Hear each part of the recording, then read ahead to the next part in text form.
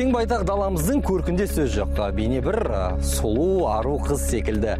Ал жолдар сол аруларымыздың бет әлпеті сияқты. Өйткені жолдар да ерекше күтім мен әрлеуді талап етеді. Тіпті олардың да өзіндік сұлулық салондары да бар. Армысыздар эфирде транспорт және логистика мен ғалымжан кеңшілік. Бүгін жол күтіміне жауап беретін жол бойындағы телімдер туралы айтатын боламыз.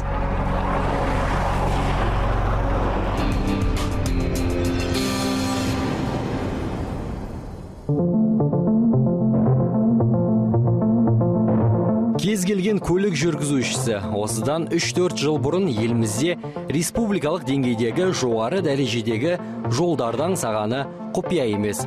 Қазақстанның әр түкпіріне көлікпен еш кедергісіз қатынауға мүмкіндік беретін тегіс. Шұңқыры жоқ автожолдар көптің көкейінде жүрді. Мәселен еліміздің бес облысын басып өтетін батыс қытай батыс еуропа дәлізі пайда болғаннан бері көлік иелерінің көңілі жай. Серіппе амортизаторы аман. Аталмыш дәліздің құрылысынан кейін көптеген республикалық деңгейдегі өзге тас жолдар күрделі жөндеуден өтті. Дегенмен жолды салып қана қоймай оны ұзақ жылдарға пайдаға асыру үшін күтіп ұстау жұмыстарын жүргізу керек екені анық. Батыс қытай батыс еуропа дәліздің оңтүстік қазақстан облысына қарасты бөлігінде дәл осындай баптау жұмыстары өз деңгейінде өтіп жатыр. 2009 жылдан бері біздің оңтүстік қазақстан облысында батыс еуропа батыс қытай жобасы іске асырылып жатыр. Сол жоба аясында екі жол пайдалану телімі мен үш жол пайдалану бөлімі салынды. Соның біреуі осы қазір қарап отқаныңыз бұл жол пайдалану телімі. Бұл жерде елу сегіз жұмысы жұмыс атқарады және де 46 техника жұмылдырылған. Осы 224 шақырым батыс еуропа қытай жобасын күтіп ұстауына. Аталмыш қызметкерлер өздеріне тиесілі жұмысты атқару үшін таң атпас бұрын жолға шығады. Автожолдың әрбір метріне жауап беретін болғандықтан өз жұмыстарына ерекше мұқияттылықпен қарайды. Жол тазалығын қамтамасыз етушілер күтіп ұстау кешеніне жататын барлық қызметтерді атқарады. Көктем жаз күз кезінде жолды сыпыру жолды қоқыстарды жинау Э, жол белгілерін түзету жуу э, дөңгелек қағарларды түзелеу және де жол белгілерін салу шөп және де өртке қауіпсіздік шараларын бәрін жасайды. Ол жаздың күні. Қыстың күні жолды қардан тазалау мұз мұз пайда болған жерлерді жою. Оңтүстік қазақстан облысы өзінің ерекше әсем табиғатымен мақтан алады. Ауа райы жайлы болғанымен жоғары температуралы күндері көп. Ал қысы жұмсақ болғандықтан қар жамылғысы да қалың бола қоймайды. Сондықтан жолды күтіп баптайтын мамандардың жұмысы солтүстіктегі әріптестеріне қарағанда біршама жеңілдеу болып отыр. Биылғы жылды алсақ 2015 2016-ға өткен жылда бізде биыл өте жақсы болды. Өйткені небары үш рет қана қар жауды. Оны жол жабылған жоқ біздің облысымызда. Біз көк, күз аясынан бастап бәріне даяр болып отырдық. Бірақ дайындаған жол тазалау материалдардың он пайызын ғана қолдандық биылдыққа айтып өткенімізде шымкенттегі күн райы негізінен ыстық болып келеді. Дегенмен шілде айының орташа температурасы 25-29 градусты құрайтын өңірде күн қызған сайын асфальт жолдардың балқи түсетіні белгілі.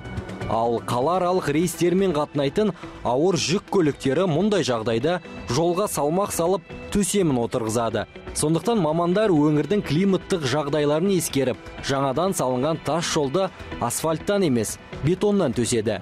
Әрине бетон бөлшектерді тасуға байланысты өзіндік қиындықтар да туды. Ал жол баптаушы мамандарға керісінше бұл жеңілдік болып отыр. Батыс еуропа батыс қытай бетонный жол болғанына байланысты бізге тұз қарастырылмаған бізге құм қарастырылған жолға себілетін. Одан былтыр біз где то бір жарым екі мың кубтай жолға биыл қыстың аз болғанына байланысты сондай расход кетіп отыр. Жолдың жолды краскілеуге келетін болсақ ол бізде полный жолға кететіні алпыс тоннадай краска кетеді. Былтырғы жылға кеткені. Алпыс тоннадай краска. Бір екі жүз погонный метр колесодвойымызды ауыстырдық. Дәл қазіргі қалған нелердің бәрі күтіп ұстау жұмыстары. Аталмыш күтіп ұстау жұмыстары үшін түрлі мүмкіндіктері бар 46 техника қарастырылған. Басым көпшілігі камаз автокөліктері. Көкшетау қаласында ресей мен қазақстанның бірігіп ашқан өндіріс орында жинақталатын. Бұл көлік жол мамандарының айтуынша күтіп ұстау жұмыстарына аса ыңғайлы. Қысқы жазғы күндерде тазалауға арналған қажетті бөлшектер ауыстырылып жыл бойы қызмет етеді. Сәйкесінше телімдегі барлық көліктерге де өзіндік күтіп ұстау қызметтері көрсетіледі. Автокөлікті күтіп ұстау ол көбінше жүргізушіге байланысты. Оны қатаң қадағалаймыз. Азанда шығып кетіп бара жатқанда тексеріп кешке келгенде тексеріп қабылдап аламыз. Если водительдің жаңа жүргізушінің тарапынан болып жатса барынша жаңа қатаң сөгіс беріп болмаса шара қолданамыз. Енді бізге мынау соңғы келген техникалардың көбісі мына камаз автокөліктерінің ол мына камаз центр деген бізде осы жақта сервисный не бар? Ол соларды гарантийныйінде тұр. Айына бір мәрте барып тексеріліп жаңағы майын суын бәрін сол жерде тексеріп бәрін ауыстырып өздері қарап береді бізге. Жолды күтіп баптауда қолданылатын техникалардың бірі автогрейдер қытайда шығарылған.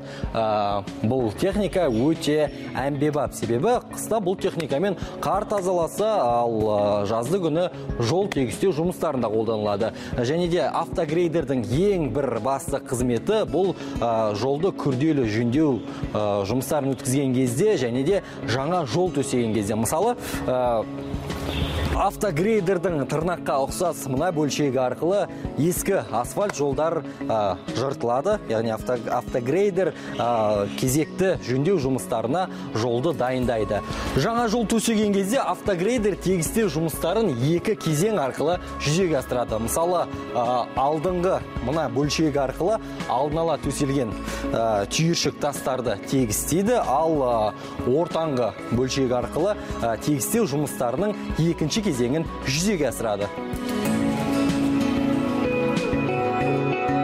Кең көлемді жол пайдалану телімдерімен қоса республика бойынша әр аумақта жол пайдалану бөлімдері де қызмет етеді.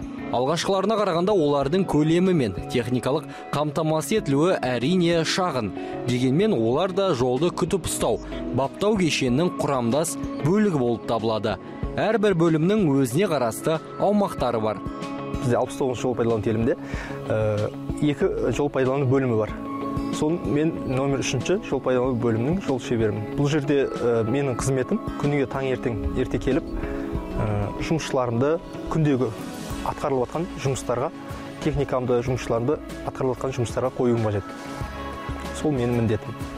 Менде шымкент айналма жолы және шымкент самара жолы. Шымкент айналма жолында екі мың екі жүз жетпісінші шақырымнан екі мың екі жүз отыз бірінші шақырымға дейін ал шымкент самарада екі мың екі жүз елу жетіден екі мың екі жүз отыз бесінші шақырымға дейін осы номер үшінші жол пайдалану бөліміне қарайды.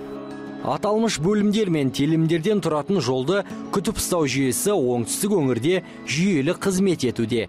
Еліміздің жолдарына жауапты ұлттық компанияның оңтүстіктегі өкілдігіне республикалық деңгейдегі жолдарға қатысты арыз шағымдар түсе қоймапты. Компанияның ресми сайтында әр көлік иесінен арыз қабылданатынын ескерсек бұл жақсы көрсеткіш. Ал егер шынымен де көлік жүргізушілері өздерін мазалаған сұрақтарға жауап тапқысы келсе немесе әлдебір жағдайлар бойынша шағымдар болса арнайы жасақталған қызметке хабарласа алады.